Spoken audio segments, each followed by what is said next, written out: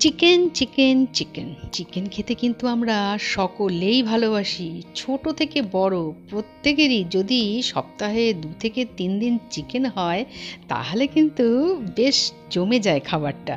আজ তোমাদের একেবারে এত সহজে আর এত টেস্টি একটা চিকেনের রেসিপি করে দেখাবো, যেটা তোমরা একবার বানালে মনে হবে আবারও খাই। আর এটা কিন্তু এই চিকেনটা রাতের জন্য একেবারেই আদর্শ। চলো তাহলে দেখে নিই। নমস্কার বন্ধুরা, সবাইকে আরও একবার স্বাগত জানাই বুলারি শিলের পক্ষ থেকে। চলে এলাম চিকেন বানাতে। চিকেনের জন্য আমি নিয়েছি প্রায় পাঁচশো গ্রাম মতন চিকেন, খুব ভালো করে ধুয়ে একেবারে জল জড়িয়ে রেখেছি। এবারে সরাসরি চিকেনটা একটা প্যানের মধ্যে ঢেলে দেবো। আর কিছুই নয়, লাগবে সামান্য পরিমাণে একটু আদা, এরকম লম্বা করে কেটেছি। কিছু রসুনও আমি এরকম লম্বা করে কেটেছি। আর সামান্য পরিমাণ লবণ দিয়ে এখানে আমি এক কাপ মাত্র জল দিয়ে চিকেনটাকে আগে একটু পাঁচ মিনিট মতন সিদ্ধ করে নেব। খুব সহজ, এত সহজে, এত টেস্টি একটা রান্না, তোমরা রেসিপিটা কিন্তু পুরোটা দেখো। এই যে দেখো, আমি প্রায় দু তিন মিনিটের মাথায় চলে এসেছি। দেখলাম একটু উল্টে পাল্টে দিচ্ছি চিকেনগুলোকে আর আমি তো এক কাপ মাত্র জল দিয়েছি, এবারে চিকেন থেকেও কিন্তু জল বেরিয়েছে।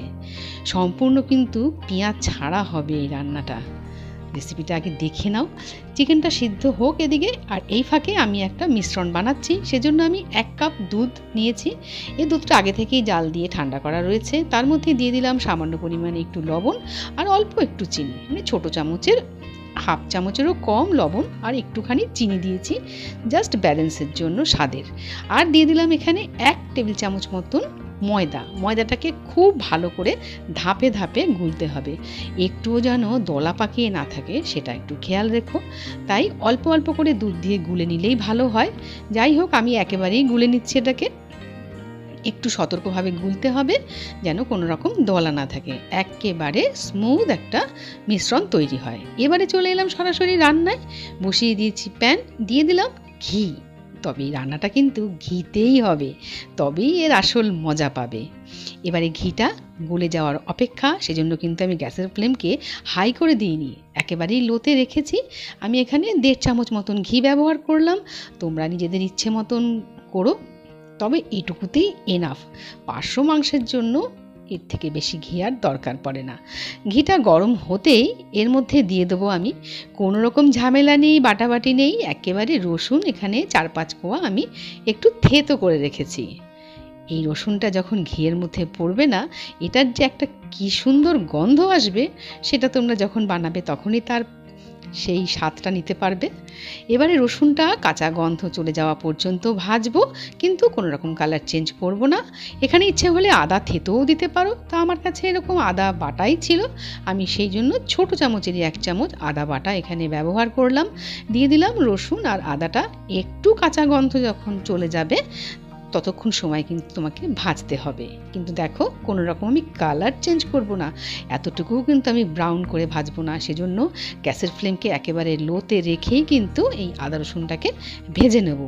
এরপর দিয়ে দেবো সেই সিদ্ধ করে রাখা চিকেনগুলোকে এর মধ্যে দিয়েই সম্পূর্ণ চিকেনগুলোকেই দেব, কিন্তু আমি ভেতরে যে জলটা রয়েছে বা সেটা কিন্তু আমি এখন দেব না। শুধু চিকেনগুলোকেই খুব ভালো করে একটু সময় ধরে ভেজে নিতে হবে।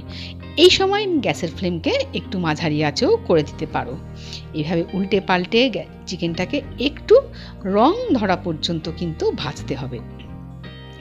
এত অসাধারণ একটা টেস্টি, অথচ কোনো রকম উপকরণ বলতে এই সামান্য কটাই, আর এর বেশি কোনো উপকরণ নেই, আর মাত্র দুটো উপকরণ হয়তো আছে। দেখতে থাকো রেসিপিটা এবারে একটু ভেজে নেব।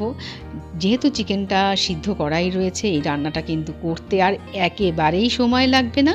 একেবারে রাতের জন্য এই মেনু কিন্তু একেবারেই আদর্শ। তোমরা রেসিপিটা একবার হলেও কিন্তু সবাই ট্রাই করো। চিকেনটাকে একটু ভালো করে ভেজে নিতে হবে। যেন রান্না মনে মনে করো এটা পুরোপুরি হওয়ার পথেই।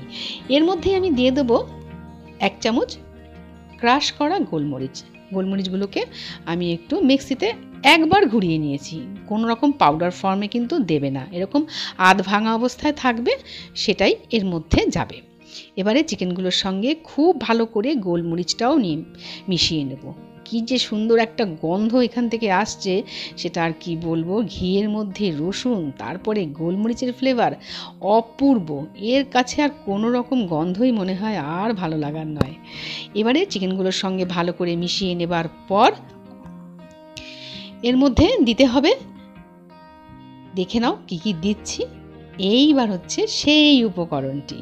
একেবারে দুধে গোলা ময়দা ঢেলে দেবো। এবার আর কিন্তু সময় লাগবে না। চট জলদি দেখবে এটা একেবারে ঘন হয়ে যাবে, তবে এই রান্নাটা কিন্তু খুব বেশি ঝোল তো একেবারেই হবে না। আমি এই দেখো সিদ্ধ করার সময় যে জলটুকু দিয়েছিলাম, এর মধ্যে কিন্তু চিকেন থেকে প্রচুর তেলও বেরিয়েছে, সেটাও এর মধ্যে দিয়ে দিলাম। এবারে ভালো করে একটু মিশে নেব। এবারে শুধু এটাকে একটু শুকনো করতে হবে। আর কিচ্ছু করার নেই। এটা কিন্তু এরকম ঘন ঘনই। অসাধারণ লাগবে খেতে। রুটি, পরোটা, এমনকি নান কুলচা হলে তো কোনো কথাই নেই। আমরা যারা রাতে রুটি খাই, তাদের জন্য এটা একেবারেই আদর্শ একটা চিকেনের রেসিপি আমি এরপর আরও কিছু কাঁচা লঙ্কা আমি দিলাম, এটা আমি ভালোবাসি বলেই দিলাম। তোমরা নিজেদের স্বাদ অনুযায়ী দেবে, আর একটু মিশিয়ে নেওয়ার পর একটু টেস্ট করে দেখে নিই নুনটা ঠিক আছে কি না। রান্নায় সবসময় নুনটা দেখার জন্য একটু কিন্তু টেস্ট করতেই হয়। আমি তো নুন সিদ্ধর সময় অল্প একটু দিয়েছিলাম, সেজন্য আমার মনে হলো একটু কম লাগছে, তাই আরও একটু সামান্য পরিমাণে লবণ আমি এখানে ব্যবহার করলাম। এবারে শুধু এটাকে একটু শুকনো শুকনো করে নাও। তবে যদি অন্য কোনো কিছু দিয়ে খেতে চাও, রুটি ছাড়াও যদি পোলাও দিয়ে খেতে চাও, বা আমার তো মনে হয় এটা রুটি দিয়েই বেশি ভালো লাগবে। সেক্ষেত্রে তোমরা গ্রেভিটা নিজেদের পছন্দ মতন রাখবে। এবারে শেষবেলায় দিয়ে দেবো সামান্য কিছু ধনে পাতা কুচি, আর মাত্র দেব এক চামচ ঘি। ব্যাস, রান্না কিন্তু অলমোস্ট রেডি শুধু একটু শুকনো করার অপেক্ষা, তবে রুটি দিয়ে খেলে কিন্তু এই অবস্থায় তোমাকে নামিয়ে ফেলতে হবে।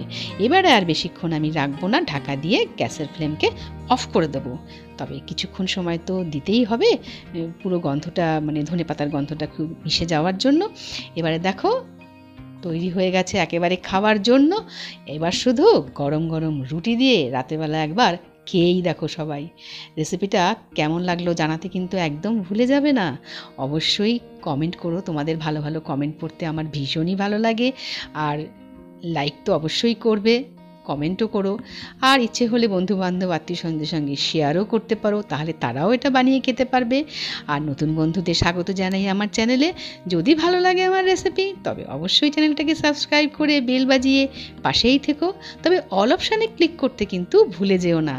তবেই তো পাবে নতুন নতুন ভিডিওর নোটিফিকেশান আর সহজেই সেটা তোমার সামনে পৌঁছে যাবে। আর তখনই তুমি দেখে নিতে পারবে। জানি না কত কী কতটুকু করতে পারি, তোমাদের কতটা ভালো লাগে সেটা তোমাদের কমেন্টের মাধ্যমেই আমি জানতে পারব। সাজিয়ে দিলাম কিছু ধনে পাতা আর গন্ধরাজ লেবুর স্লাইস দিয়ে। তবাই সবাই কিন্তু রেসিপিটা একবার হলেও ট্রাই করো। ভালো থেকো। আবার দেখা হবে নতুন কোনো রেসিপি নিয়ে।